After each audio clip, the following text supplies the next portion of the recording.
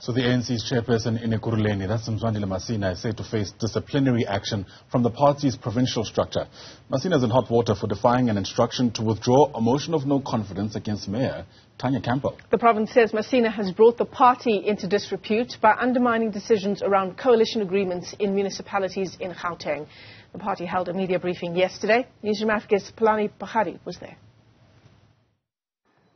The ANC in Gauteng says Mzwandile Masina had gone against party decisions and should be disciplined for such actions. The charge against him is bringing the party into disrepute. I can confirm that uh, the provincial secretary have convened the provincial working committee uh, to attend process this matter. Uh, as soon as we've concluded it, then we'll make a, a public pronouncement. But obviously, uh, the chairperson has the right also uh, to be notified, to be aware of all these things. So we don't want to do it through this platform. Secretary Thembinkosi TK Nciza says the ANC in Ekurhuleni has delayed the party's coalition efforts. He says the party has taken a firm stance to discipline all those who sought to undermine the negotiation of coalitions.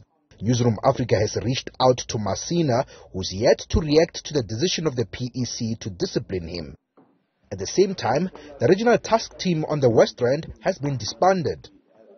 The RTT of West Rand and its term of office has lapsed after it has been given a mandate to take the region to the, the regional conference not later than June, 20, uh, June uh, 2022.